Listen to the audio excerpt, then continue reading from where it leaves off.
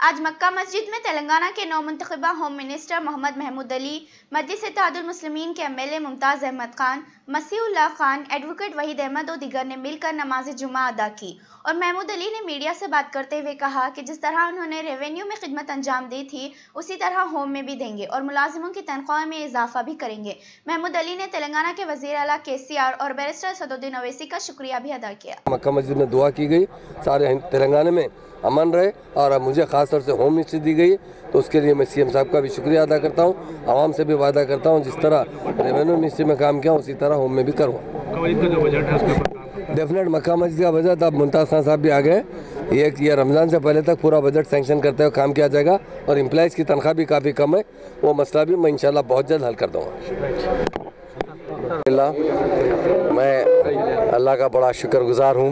अल्लाह ताला ने आज मेरे वालद मोहतरम मोहम्मद महमूद अली साहब को रियासत तेलंगाना का होम मिनिस्टर का अहदा नसीब फरमाया। मैं के सी आर साहब का तय से शुक्रिया अदा करता हूँ, क्योंकि सत्रह साल से टीआरएस पार्टी से जुड़े हुए हैं मेरे वालिद साहब और साथ ही साथ कुछ गुज्त हुकूमत में भी डिप्टी चीफ मिनिस्टर और एक रेवेन्यू मिनिस्टर का अहदा रखे हैं। चार साल, दो महीने की कारकर्दगी में सिंसियरिटी से और जो है ना काफ़ी बहुत ही अच्छे अंदाज में रेवेन्यू में भी काम किए हैं और इसी को नज़र रखते हुए के साहब का भी मैं बेहद दिल से शुक्रिया अदा करता हूँ, जो के साहब ने दोबारा कैबिनेट में एक होम मिनिस्टर का अहदा हमारे वालद मोहतरम को दिया है।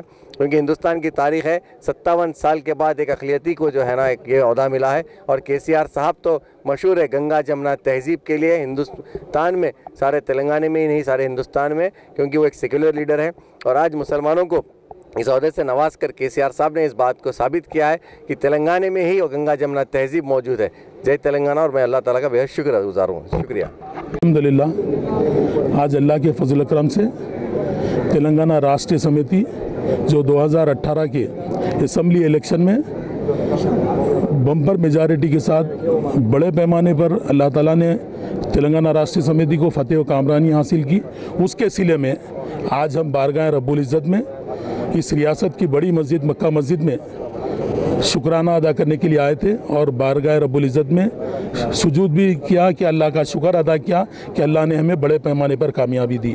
और हम बेहद मशहूर है अल्लाह ताला के, अल्लाह उसके हबीब के सफ़े में हमको जो कामयाबी अदा की, वो का, हमारी काम के सिले में अल्लाह ने कामयाबी दी और हम आवाम के भी मशहूर है। तेलंगाना की चार करोड़ आवाम के, जिन्होंने हम पर